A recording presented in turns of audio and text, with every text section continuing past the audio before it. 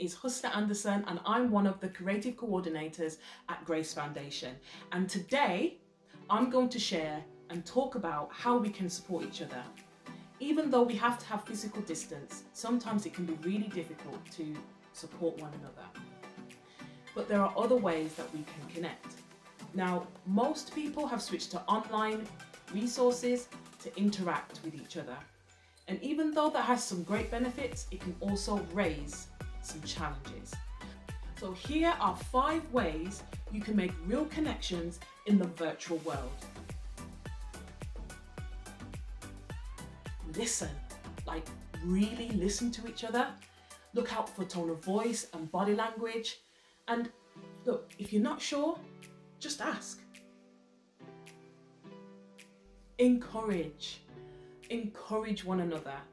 And we know, you know when you encourage one another, it also helps to focus on the positive things for that person instead of the negative things, especially if you're in isolation with them. There's lots of help online as well as on the phone counselling.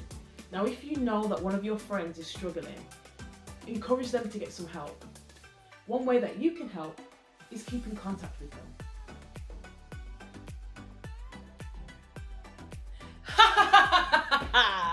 Laugh. It's so good to laugh with each other.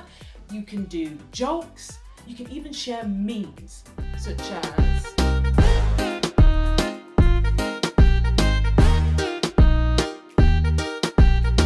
It's so good to laugh together and to even create videos together in this time.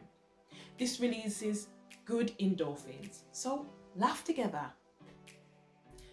Be there. Be reliable.